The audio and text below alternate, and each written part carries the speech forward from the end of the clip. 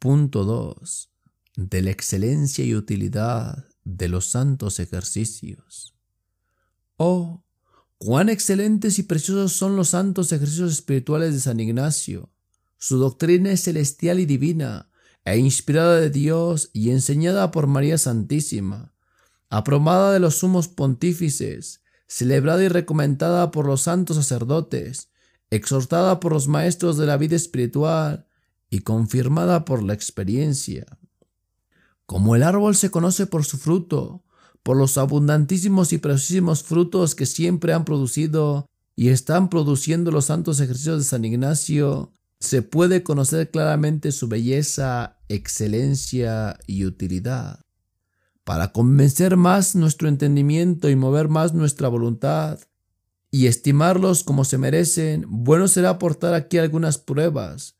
Así decimos que los sumos pontífices, Paulo III, en su bula de aprobación,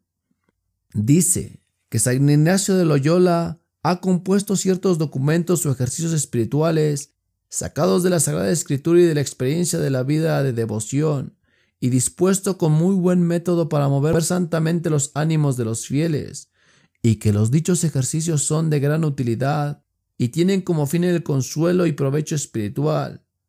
Y dice finalmente, en virtud de nuestra ciencia segura y con la apostólica autoridad aprobamos y alabamos, y con el amparo de las presentes letras, dichos documentos y ejercicios y todas y cada una de las cosas que en ellos están,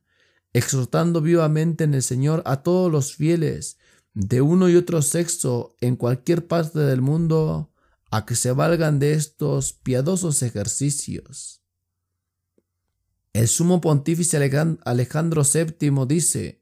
nosotros que sabemos bien cuánto provecho dan estos ejercicios para dirigir las almas de los fieles, establecerlos en la vida del servicio divino, además de los elogios y recomendaciones, los enriquecemos con indulgencia plenaria que conceda a todos los fieles que hagan sus ejercicios por ocho días.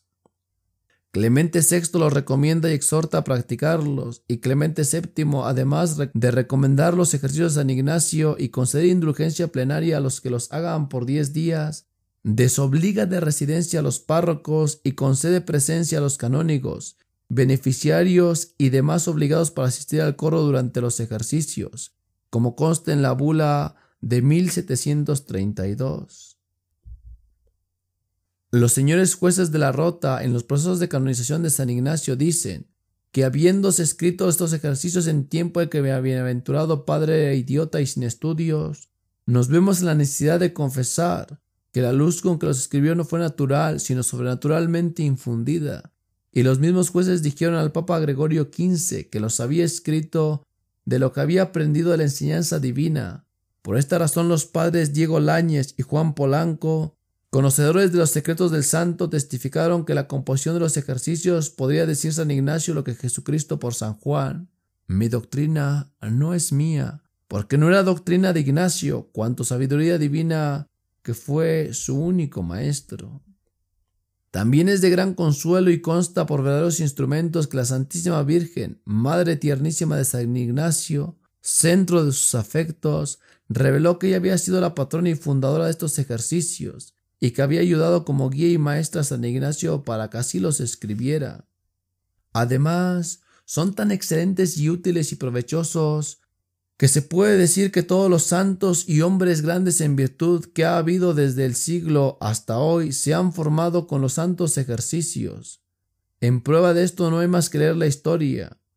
Desde luego se halla un San Carlos Bormeo, cardenal y arzobispo de Milán, que se formó en los ejercicios que Roma hacía en la compañía de Jesús, y obtuvo aquella perfección apostólica que le iba a ser ejemplo y modelo de los mayores sacerdotes. En los ejercicios de San Ignacio aprendió San Francisco de Sales, obispo y príncipe de Ginebra, aquel don de gobierno, para dirigir con gran suavidad a las almas a la más alta perfección.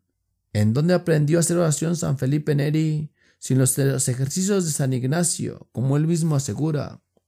En el ardor de los ejercicios fue como se perfeccionó San Francisco Javier, San Francisco de Borja, San Luis de Granada, joya de la Orden de Santo Domingo, por su conocimiento y elocuencia, llamado el Cicerón español. Al igual se puede asegurar el doctor de la iglesia San Alfonso María de Ligorio, maestro de moral, que los hacía durante diez días en encierro total. Del doctor de la iglesia San Juan de Ávila, apóstol y gloria de Andalucía, y del gloriosísimo San Juan de Camus, quien lleno de gozo por los buenos éxitos que había experimentado en los ejercicios, exclamó estas palabras. Oh libro todo lleno de oro y más precioso que todas las riquezas del mundo. Oh libro divino escrito con luz especial de Dios. Oh libro que oculte en sí el maná, la médula del Líbano, el granito de mostaza del Evangelio. Libro que jamás podrá ser encarecido como merece, porque no podrá llegar a ser bastante alabado. Al testimonio de tantos varones sabios y santos y de otros que se omiten se puede añadir el de San Vicente de Paul, fundador de tantas instituciones piadosas caritativas, especialmente fundador de los sacerdotes misioneros, quien con la mayor eficiencia les inducía frecuentemente al uso de los ejercicios espirituales como medio para la reforma de las costumbres y restauración de la vida espiritual. Por eso estableció que sus hijos los hicieran cada año por espacio de treinta días. No está de más aquí mencionar algunas de aquellas señoras sabias y santas que tanto apreciaban los santos ejercicios y que tan grandes bienes sacaron de ellos como Santa Teresa de Jesús, Santa María Magdalena de Pasi, Santa María Micaela del Santísimo Sacramento, Doña María Escobar entre otras. De esta Doña María se lee que en su vida, después de haber hecho santos ejercicios, quedó su entendimiento tan iluminado que creyeron hombres muy sabios que poseía todos los tesoros de la sabiduría divina. Tan encendido quedó su corazón que no hay palabras para poder explicar tan animosa en el padecer y sufrir, que por espacio de treinta años estuvo atormentada de dolores en cama, sin que jamás se le oyese una queja, sufriendo gravísimas tribulaciones, no sólo con invencible paciencia, sino también con un consuelo dulcísimo.